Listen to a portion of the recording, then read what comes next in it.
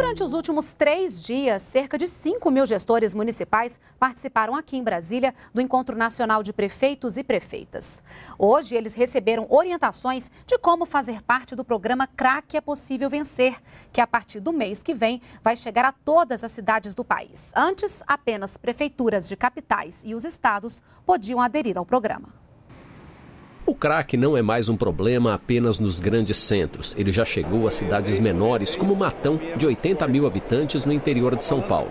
A gente está muito preocupado porque a realidade realmente é muito difícil. A gente percebe o aumento gradativo cada vez mais justamente desse problema seríssimo. O programa CRAC é possível vencer, lançado há pouco mais de um ano, prevê investimentos de quase 4 bilhões de reais para combater a droga. No Encontro Nacional de Novos Prefeitos e Prefeitas, foi feito um balanço das medidas em 2012. Também foram apresentadas as metas para 2013.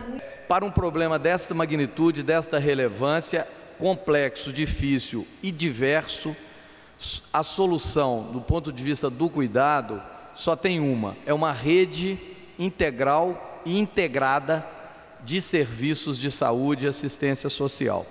Porque só assim a expressão clínica, a expressão sanitária do problema da dependência química, pela sua diversidade, tem que encontrar resposta diversa, diferente em vários serviços. O programa CRAC é possível vencer é um trabalho conjunto de vários ministérios. O plano que define ações de prevenção ao uso da droga, tratamento dos dependentes e combate ao tráfico é executado em parceria com estados e capitais. E a partir do mês que vem, todos os municípios do país vão poder aderir. Ninguém vence a droga, o crack, sozinho.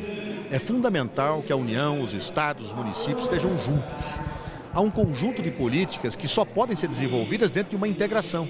Sejam as atividades policiais, sejam atividades de saúde, sejam as atividades de eh, reinserção social daquele usuário de droga. Então, portanto, é essa a ideia do programa: estarmos juntos, dando mais autoridade através do combate aos traficantes, tratamento de saúde aos, aos usuários e uma reinserção social para que se recuperem aqueles que são dependentes químicos.